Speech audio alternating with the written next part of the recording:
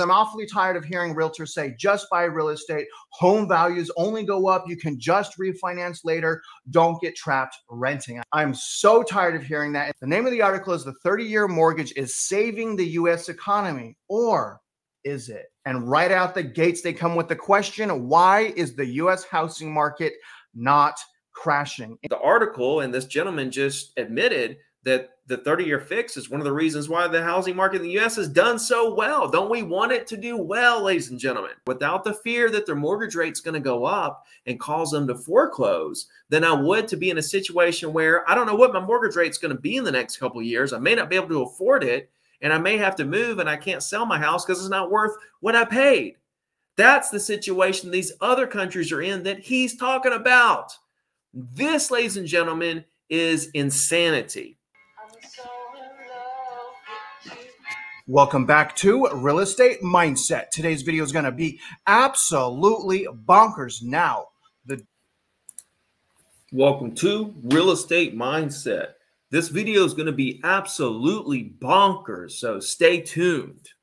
Data is in, and the question is, is why has the housing market not crashed yet? Or really, the better question is, is why has the housing market skipped negative equity growth? Now, so the thing is, is that the real estate market has crashed. We're literally at 2008 levels when it comes to the number of transactions in the US. We're on track to hit 4.2, 4.3 million transactions this year. In 2008, we did 4.12 million transactions. So we're literally at 2008 levels. We're not too far away from 2008 levels when it comes to number of transactions. In my mind, that's the crash. This is 2008. This is the crash, ladies and gentlemen. What everybody wants to signify or or talk about when they talk about crash is they want to they want it to be about home prices. They want home prices to come down. That's what signifies a crash to people, to some people. But there's more to it. There's inventory. We're in an inventory crash. We're in a transaction crash, and prices haven't suffered. Why haven't prices suffered? That's the question for me. And the question is answered very simply. After 2008, when all that happened, and we had the only time in history where prices really had a significant uh, reduction, we really had that serious correction in the real estate industry, it was because of the way that loans were allowed to be done with no documentation of income. And after 2008, the government came out and put all these regulations in place to make sure that we were protected the next time we had an incredibly uh, uh, incredible downturn of the market. And that's what we're experiencing right now. I did a poll, and 40 to 50% of agents are either doing worse than last year or they're out of the business. That is significant right there. So we are in the crash. There's not going to be another crash. There's not going to be anything else to this. And the fact that we put so much regulation on mortgages has put us in a position where, thank you, government. I, I never thought I would say that. Thank you, government, for coming through and protecting our equity as homeowners in America, where we didn't see another 2008 again. Thank you so much for that because that's exactly what they did. And they did a very good job of it because now here we are, and we should be thanking our lucky stars that they did that because now we have such solid mortgages. The mortgage market is incredibly strong. People have much higher credit scores than they had last time in 2003, 4, 5, 6. Um, people are sitting on extremely low interest rates. Everybody knows that. That's the reason why inventory is so low. And, you know, the people that are buying right now in the sixes and 7% mortgage uh, rate range, they're well, well, well qualified, or the banks would not give them the loan, ladies and gentlemen. And so, as we move forward over the next few years, I don't know how long it's going to take, and we get into a lower mortgage rate environment, we're going to see this inventory problem work itself out. It's going to take a long time, but it's going to work itself out. But I'm just making note here that, you know, this guy, I don't even know his name, he's talking about uh, why hasn't the market crashed? You mean why haven't prices come down? We are experiencing a crash. And it's a it's a massive crash. It's a it's it's to a very high magnitude. All right. So let's continue here. The thing is guys is i'm not just using wordplay here and I say that because as you guys can see here, something similar happened in 2006. In 2006, we had negative equity decline followed by six months of equity recovery, similar to what's going on right now. Let's not forget from 2000. It's not really similar to what's going on right now. See, that this is the thing. People want to compare what's happening now to 2006, 7, 8, whatever year you want to say and the problem is, is this is not comparable to 2006, 7, 8. To, to compare now to 2006, 7, 8 is absolutely laughable. Um, where we were very unstable in a very unstable environment in 2006, 7, 8. And right now we're in a very, very solid foundation. And I know that the guy that did this video and a lot of people are, want to sit around and say, Ricky, this you're absolutely wrong. You know, we're experiencing price increases now. Enjoy it while it lasts because it's just a false rally here and it's going to come back down. Just you wait. And you may be right. You may be right. I just don't see the data that that tells me that. Now, I do believe that we're getting into a place where unaffordability is becoming a problem. I think uh, affordability is is hitting unaffordability is hitting is getting has to be getting close to an all time high. And I believe that right there is going to level prices out. I think we're going to see a leveling of prices, not before we hit an all time high. And I don't think it's going to hit an all time high and then crash and burn and go down 10%, 20%, 30%. I don't, I don't see that at all. I see no data that shows me that that that's the direction it's going, going to go in. If somebody could sit down and say, here's the data, here's why prices are going to go down, and here's why it's going to happen, then I could say, okay, I see that. But nobody has really shown that. Uh, I think there's a lot of clickbait around it's going to crash. Okay. Um, you know, unaffordability is going to make it crash. No, I think it's going to make it level out. Um, you know, we're talking about, you know, false rally, you know, 2006, you know, um, the savings, what people have saved in the bank and how much they're spending and stuff like that. All this stuff is going to level itself out. And there's just not going to be this massive crash. Why? Because we had so much cushion uh, that was given to us by the lending regulations. It was just cushion. Whereas when we had this really incredible crash of transactions, we had a very soft landing, a very mild correction that lasted whatever, nine months. And now we've had a nice rally back to the top. And now well, let's continue here. Why can't we have a 2% a year appreciation from here? Why do we have to have a 20, 30% crash of prices? What's the point? Why, why, do, why do people want this to happen? Because you want to go out and buy real estate? Okay, I get it. You want to get some good deals. That's awesome. Go out there and get good deals. But there are good deals out there now. And later on, when things are, are lower, if it does go down to 30% and stuff, sure, we'll all be buying. But that'll be the price then. You're still going to have to buy under those prices at that time for those good deals that you're talking about. And if you buy at market value 30% lower, sure, over the long term, you're like, oh, well, it was 30% higher. So I've got some guaranteed returns here. You don't even know that. Things could level out and go down from there. You don't you don't know that. But my point is is that why can't we have a 2% a year, 3% a year from this point right here. Wouldn't that be a healthy market? And isn't that what everyone should want for the market? A healthy market. 2009 to 2011, there was seasonal periods of price increase. As you can see here by the red arrows, home prices actually went up during 2009 to mm. 2011 during the seasonal times of home buying. Regardless of those seasonal increases, the overall trend was a downward trajectory, similar to what I believe is going on right now. Once we were out of the recession of 2009, it it's not similar to what's happening right now, right? And it, it's it's again, it's laughable to say that because he says it's it's a downward trend, but it's not a downward trend. We we came back up and we're right back up to the same peak that we were last year we hit an all-time high last year in June, and June was the month that that prices started to decline.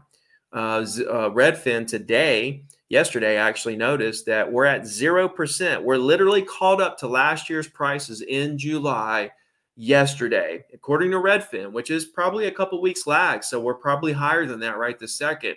We're probably closer to catching up with June of last year, which was our all time high. But it's not a downward trend. A downward trend would mean that the next peak is lower than the last peak, but that's not true. The last peak is the same as the current peak, right? And we don't know where we're going to peak out. We may peak out higher this year than we did last year, which is what I think is going to happen based on real data. So no, that what what what this what he's saying here is false. It's not a downward trend like you see that he's illustrating here back in you know the 2006 7 8 9 range. It took roughly three years for home values to even rebound. I'm awfully tired of hearing realtors say just buy real estate. Home values only go up. You can just refinance later. Don't get trapped renting. I'm so tired of hearing that and most of the realtors on youtube are lead generating platforms and nothing more. Bloom- so I'm a real estate agent. I'm a real estate YouTuber, real estate agent, and this is not a lead generating platform. I don't generate leads for buyers and sellers whatsoever on my platform at all. This is more so for real estate agents, real estate investors, people who actually want the truth about real estate. That's what I'm here. I'm here to be the voice and reason of real data and the truth behind what's really happening outside of what I like to refer to as the crash brothers.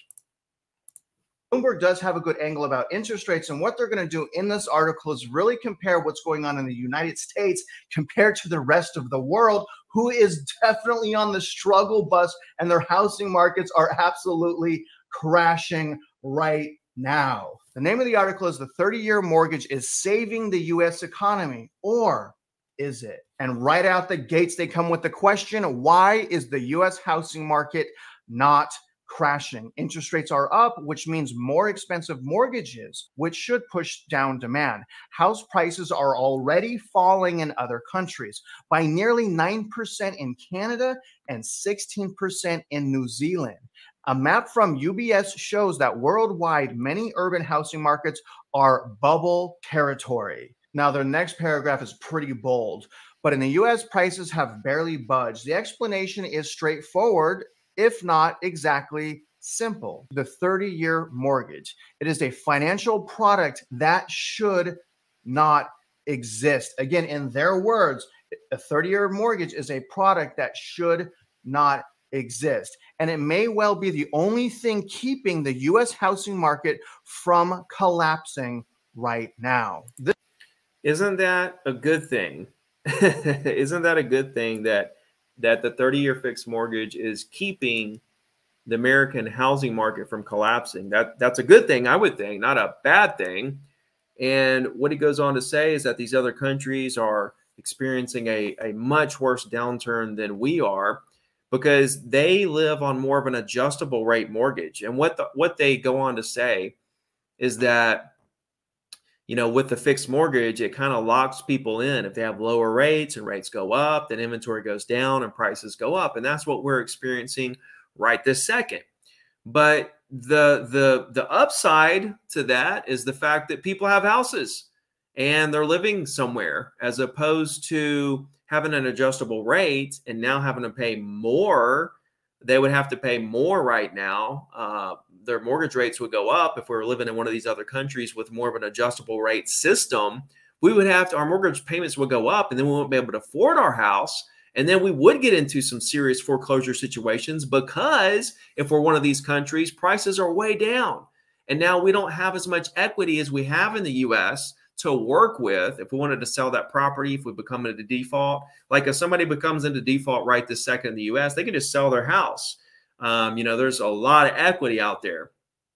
But in these other countries that are down a whole lot price wise, it's literally because of their mortgage situation. The fact that it's adjustable rates and people's mortgage payments go up more than they can afford. And now they're in trouble and then they can't sell it because prices are down. So, why in the world wouldn't we want the 30 year fix? Like, you got to outweigh the, the pros and the cons here behind having a 30 year fix. And for me, I mean, the article and this gentleman just admitted that the 30 year fix is one of the reasons why the housing market in the US has done so well. Don't we want it to do well, ladies and gentlemen? If it locks some people in because mortgage rates goes up, that's kind of the cons of it. That's there's going to be negatives to everything, but I would rather prices stay solid and I would rather have a solid system and people who are in houses and living there without the fear that their mortgage rate's going to go up and cause them to foreclose than I would to be in a situation where I don't know what my mortgage rate's going to be in the next couple years. I may not be able to afford it and I may have to move and I can't sell my house because it's not worth what I paid. That's the situation these other countries are in that he's talking about. This, ladies and gentlemen, is insanity. All right. So let's let's carry on here. This is very intriguing because they're not saying low interest rates. They're saying 30-year fixed rate mortgages intriguing. The risk of a housing crash is not only that people could lose their homes and much of their wealth, as they did in 2008, it's that it could cause a deep recession, as the Great Recession showed. A recession brought on by the fall in house prices can be especially severe since housing tends to be the largest component of household wealth. New Zealand is already in recession, and there are concerns that that housing market will cause more economic turmoil in the UK. So there you go, right there, ladies and gentlemen. Uh, the UK there is already in a state of turmoil, and they expect more. So is this gentleman suggesting that we go to their standards of how they operate? I I I seriously hope that's not what he's saying. And really, it is no question that US home prices have already fallen. But have they fallen enough for us to consider it a crash in prices? Not quite yet. Not at all. And if you look at this chart, you can see we're number two there with the second lowest, uh, you know, year over year number as far as prices go. And these other countries he's talking about that's so great that, you know, we should be over there. That's where the are right here their they were their prices have just went down, down, down. Right? L- let's have a solid, a solid housing market. Let's not have one that's um, very volatile. It's what it sounds like this gentleman would love to have. Very intriguing data right here. Prices are falling almost everywhere, but among wealthy countries, America's decline has been more gentle. And that's because of the rebound this year, dead cat bounce, call it whatever you want. Very interesting to see that New Zealand is down 16.3%, Denmark down 14, Korea 12, Sweden 11. The entire world is in pretty bad shape. Now, according to this, the United States is only down 0.5%. Now, I wouldn't consider a loss of value of 0.5% a housing market crash. But what they're trying to say here is all of these other countries do not have a 30 year fixed rate mortgage. Most of the homeowners here have actually adjustable rate mortgages. So their interest rates adjust essentially with inflation. Pretty wild to think about, actually, even as prices for other things are going. Yeah, it is pretty wild to think about, my guy, that your rate, your your your mortgage payment could just fluctuate with inflation. Think about how horrible that would be. And it's the proof is right there in the chart that he just showed. but, anyway, guys, I just wanted to share with you my reaction of a couple of comments in this video. Uh, we would watch the rest, but honestly, it's a little hard to watch. The bottom line here is that we haven't crashed. And I don't see how we're going to crash. I can see how prices are going to level out, but to go down, I don't see it. In the meantime, the the real crash is happening and it's called transactions and it's called inventory and that's what's causing all this stuff. But honestly as we move forward here everything's going to be okay all right everything's going to be okay. I'm buying houses every month so just so you know i'm not a real estate agent out here saying you know go buy it's a great time to buy it's awesome no, I'm, I'm buying houses. I bought one last month. I'm closing on one in two weeks. I have one set to close the month after that. I have two set to close in September. So I'm buying houses myself as investments, and I hope that you're doing the same thing. If prices crumble and burn, guess what? I'm going to buy more houses. If prices go up, guess what? I'm going to buy more houses. So that's the game that I'm playing buy real estate, hold real estate, and build that portfolio. I hope this helped you in some form or fashion with my mindset, hoping I can take this and implant that into your brain. And I hope you have an incredible rest of your day. Let me know if you have any questions in the comments, and we'll see you on the next video. Let's go. 35 with the top down, quick to tell a hater they should get like me. Seem like everybody wanna be the boss, but it costs, and these lames ain't like me. Drop a couple bands on the crib.